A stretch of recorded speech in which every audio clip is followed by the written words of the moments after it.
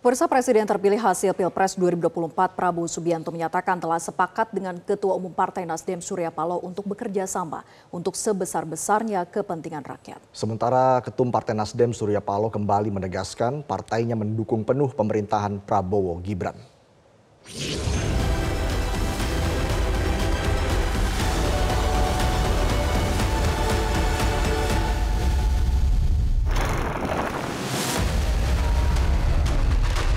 Presiden terpilih hasil Pilpres 2024 Prabowo Subianto merasa gembira dengan kehadiran Nasdem sebagai salah satu partai pendukung pemerintahan ke depannya. Prabowo memastikan dirinya bersama Ketua Umum Partai Nasdem Surya Paloh telah sepakat untuk bekerja sama sebesar-besarnya demi kepentingan rakyat Indonesia. Prabowo juga mengapresiasi sikap Partai Nasdem yang paling pertama memberikan ucapan selamat kepada dirinya. Sebagai sahabat, Prabowo menghargai sikap Surya Paloh dan selanjutnya komunikasi antar kedua belah pihak akan berjalan secara intensif.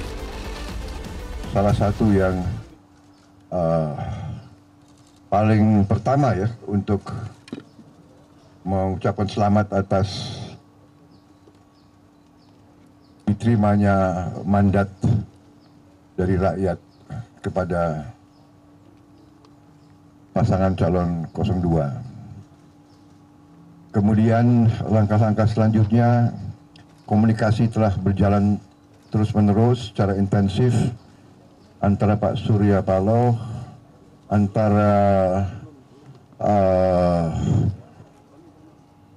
rekan-rekan yang ditunjuk oleh beliau dan dari pihak kami, dari Partai Gerindra, pertemuan dan komunikasi yang intens dan yang cukup produktif. Sehingga hari ini tadi terjadi suatu bisa dikatakan uh, pertemuan yang efektif, yang produktif. Kita sepakat bahwa kita akan kerjasama untuk sebesar-besarnya kepentingan rakyat Indonesia.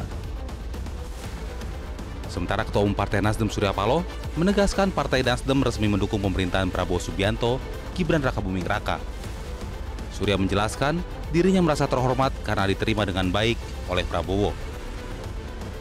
Nasdem hari ini menyatakan kembali menegaskan bukan hanya yang pertama mendukung pemerintahan baru di bawah kepemimpinan Bapak Prabowo Subianto dan Mas Gibran. Kita tentu berharap agar jalannya administratif pemerintahan ke depan ini dengan dukungan yang diberikan oleh berbagai komponen dan seluruh kekuatan institusi partai-partai politik yang ada di negeri. Insya Allah kita akan mampu memberikan sesuatu yang jauh lebih hebat dan berarti untuk tetap melihat Indonesia dengan optimisme ke depan. Artinya, sekali lagi saya katakan, kita siap untuk memberikan dukungan sepenuhnya ya kan, kepada pemerintahan baru di bawah kepemimpinan Pak Prabowo Subianto dan Mas Gibran. Sejujurnya saya berkontemplasi untuk itu. Sebuah proses perenungan saya lakukan yang cukup lama. Akhirnya, satu hal yang saya berbicara dari kejujuran hati dan rasionalitas yang saya miliki. Kalau memang ada opsi karena dasar, bukan saya yang meminta tapi kesempatan, dorongan, keinginan, spirit mengajak untuk bersama dengan pemerintahan. Saya pikir itu lebih baik.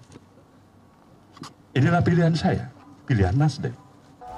Surya Paloh mengajak semua pihak mengakhiri permasalahan pemilu 2024. Ia menilai pemilihan presiden sudah selesai dan saatnya memikirkan bagaimana membangun Indonesia ke depan termasuk menghadapi tantangan dan dinamika dunia yang semakin kompleks. Sebab itu, dibutuhkan keikhlasan para elit politik untuk menghadapinya secara bersama-sama. Dari Jakarta, Tim Liputan Metro TV. Jelajahi cara baru mendapatkan informasi. Download Metro TV Extend sekarang.